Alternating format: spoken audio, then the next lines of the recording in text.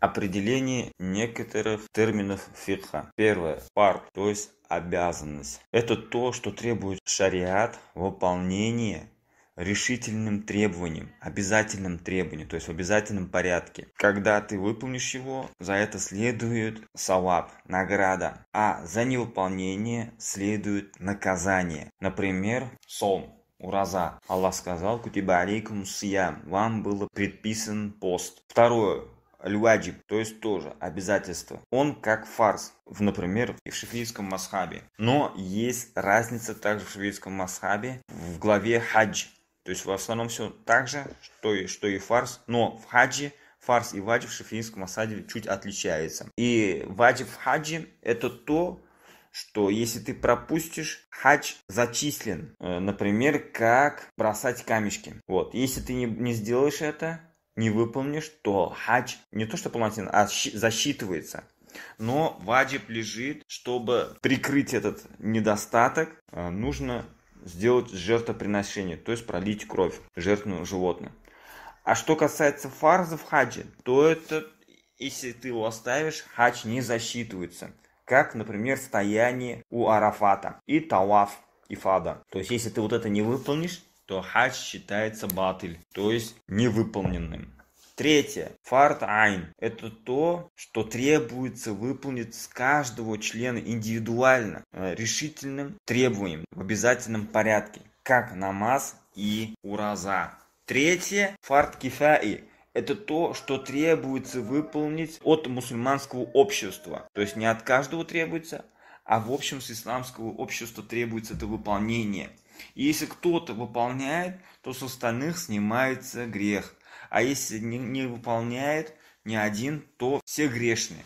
Например, подготовить джиназу и прочитать за него намаз. Пятый рукан, стол. Это также является ваджибом на нас выполнить его. И он является частью вот этого дела, самого дела. Например, чтение фатихи в намазе руку и суджуд. То есть все вот эти моменты, фатиха, руку, суджуд, они являются частью самого намаза. И они поэтому являются руком, столпом намаза. Шестой шарт, условие, это то, что ваджиб, но не является частью этого дела, а является введением в это дело. Например, тахарат и направление кибли перед намазом. Седьмое. Мандуб, желательное.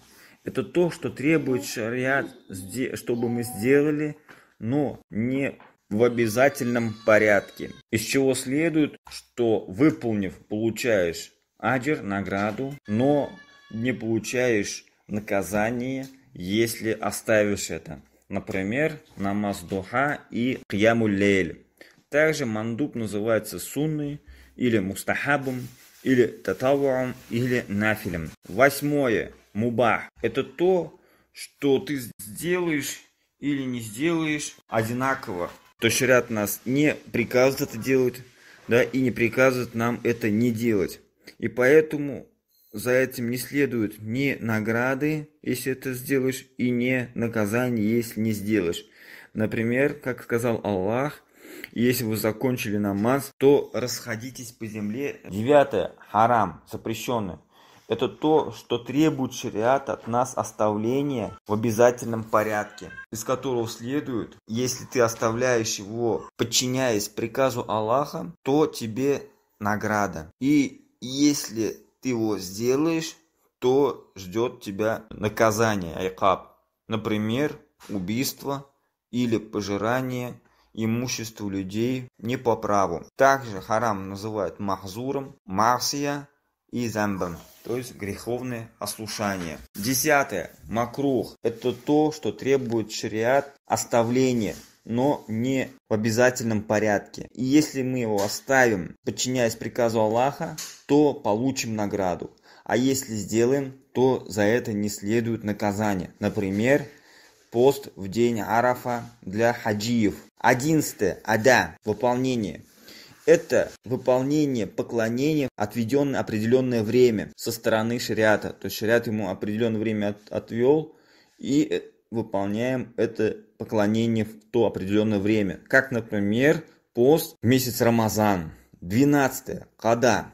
То есть выполнение пропущенного поклонения вне определенного времени. Например, читать намаз Зухр, когда его время вышло.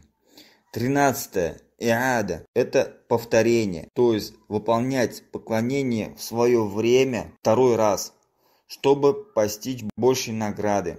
Это как прочитал Зухр в одиночку, а потом появился джамаат, то желательно по сунне еще раз прочитать его, чтобы постичь аджир джамаата.